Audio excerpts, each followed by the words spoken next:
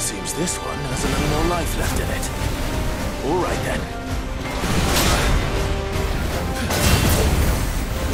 then. Ugh.